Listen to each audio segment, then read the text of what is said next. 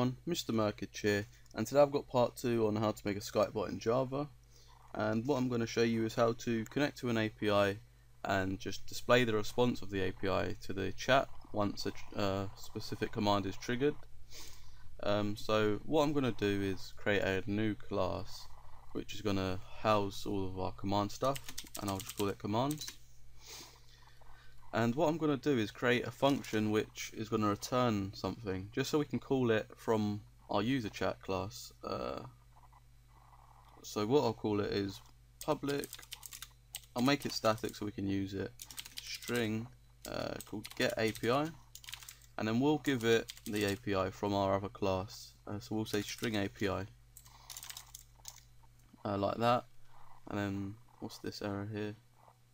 Oh so we, yeah because we need to return it, but we'll do that last. Um, so what we want to do is use a buffered reader to read the response of our URL, but first of all we'll create the URL. Um, and because I've done this before, I sort of know how to do it, because if you just code it usually, it tells you to like put it in a try catch or whatever. So we'll first of all say URL URL is equal to null. And then what we're going to say is URL is equal to a new URL and the actual URL is going to be our API that we give it from our class. And we've probably got to surround this in a try catch or we've got to import URL first. Now we in surround that with a try catch and I'll just make this look a little bit neater. Uh, yes a little bit like that.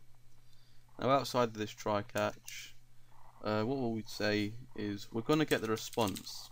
And we'll just say string response is equal to null and this is what we're going to return. We'll set this as a we'll set the value of response later on.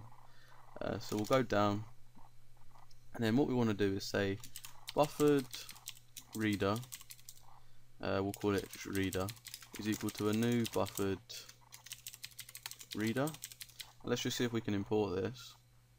You see, you want to go ahead and import the buffered reader. And what's the error we got here? Oh, we just need to complete the line. So what we're going to do is use a new input stream reader, I believe it is. Like so. Let me spell that correctly. And then inside brackets here, we'll just say URL dot open stream. There it is. And close that line off. And now we probably have to import that. And then what's the error we got here? Surround that in a try catch also and I'll just go ahead and make this look a little bit neater as well uh, so underneath this line here our buffered reader we're just going to say string s is equal to null. And then we're going to get the actual response uh, and set it to s and then we'll set response to s and return the response. So what we're going to say is while uh, we'll put this in double brackets while s is equal to reader dot read line come out of there and say is not equal to null then s uh, or sorry response is going to be equal to s. And then after we've done that we want to come outside of this try catch and just return response like so. And that should be good to go. So I'll come back and explain this in a little bit. So we'll save this file and go into the user chat and I've got a little API here which will just return a joke just for a test. So it's a single command. So we'll come under here and we'll say else else if cmd dot equals and we'll just say joke. Then what we want to do is the same as usual we'll say message dot send message to the e dot get chat and instead of just sending a message as a string now what we're going to say is commands dot get API and this is where we'd pass our API in. So if we go ahead and copy this link now you can use any API we'll put it there. And make sure it's a string because that's what we declared it as. And now that should be good to go. So if we quickly run that.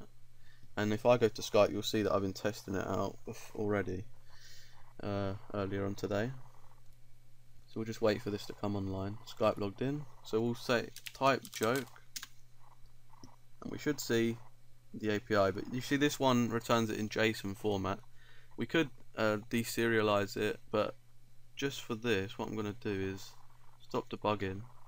Uh, in our commands chat, I'm going to say return response dot split, and then just by taking a look at that, we want to split right there. Copy that selection. We'll probably have to put a backslash on each of the speech marks we want to use inside it.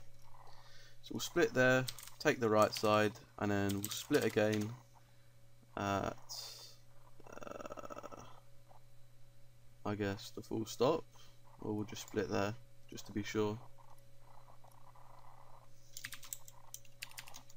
Put that in, backslash there, and another backslash right there, and we'll take the left side of that now. So let's give that another launch. That should just remove that mess for us, and just return what we actually want to see. Um, so I'll just wait for um, Skype to log in. Now if I trigger joke again, you should now see we just get the clean message, square root of Chuck Norris's pain, whatever. That's the basic API response. Uh, now if I stop debugging, you see in our uh, where is it user chat where we actually say commands.get API and let's say we want to do one for a double command. So you'll have the same um, let's say I'll just copy this line for resolve. Um, you see how we got the argument here? So we'd copy that like that. And let's say the API required a parameter. So it would probably be something like this. Uh, random.php and it will be like uh, param let's say is equal to. And then you'd leave the equal to there come outside of here press plus and type arg like so. And then that is how you'd complete a uh, double command. And that would work the same way. It will just add on what we need from the user onto the end of the link here and then it will just return the response uh, but I sort of did a little hacky way of uh, cleaning up the code. You'll probably want to do it properly using uh, or deserializing the JSON or decode it. Uh, but that's a very quick way of connecting to APIs and returning them using a little class I made. So that's it for this video. If you do like it, please be sure to leave a like and a comment and I'll see you next time.